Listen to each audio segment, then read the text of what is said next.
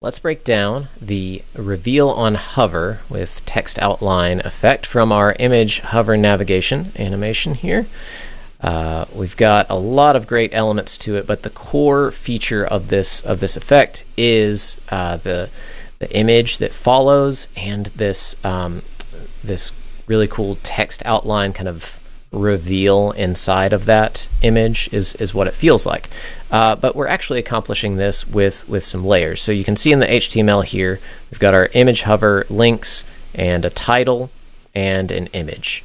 Um, if we look in our CSS, uh, there's you know uh, not not too much going on with that, um, but the title um, here we've we've got actually sized to be what we want and then the image is position fixed inside of it. We break down the uh, the mouse positioning aspect of it in another video. Go check that out. Um, and then we're we're revealing the image itself through visibility hidden and opacity zero with a transition on both of those properties. Uh, and that that's what helps the image kind of smoothly fade in or smoothly transition between the two. Um, you can see on hover and on focus, we go to visibility visible, opacity 1, with a transition delay of 0 seconds. Um, that's a trick for animating visibility, if you will, or transitioning visibility.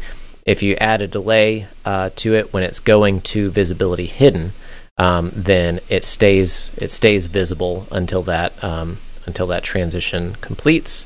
And then uh, whenever you want to reveal it, you take that delay off so that it instantly instantly appears.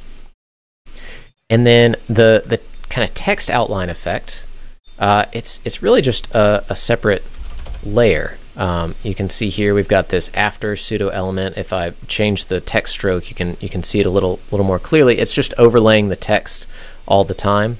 Uh, on each of our titles, uh, I have a uh, a data attribute with the same text as the as the title itself if you're doing this in React or whatever, like that's really easy to do. Just you know, duplicating the the content there.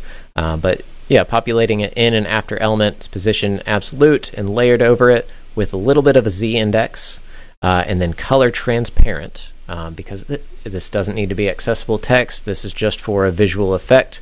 Um, so we're, we're giving it uh, the transparent center so the image shows through, um, and then the text stroke um, is is a special WebKit thing um, that reveals um, that kind of outline around the text.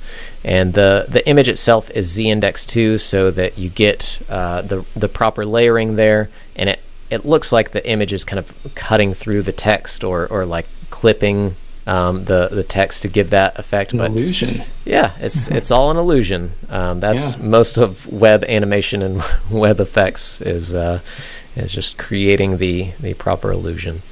Our show is sponsored uh, by CodePen at codepen.io, CSS Tricks at css-tricks.com, and viewers like you. You can pledge at patreon.com slash keyframers, and we've got links available below for that.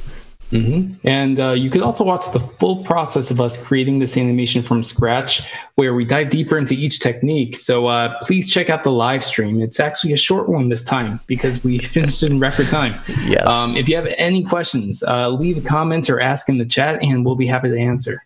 That's right. All of our videos are available at youtube.com slash keyframers. So subscribe there and check out uh, more of our great content.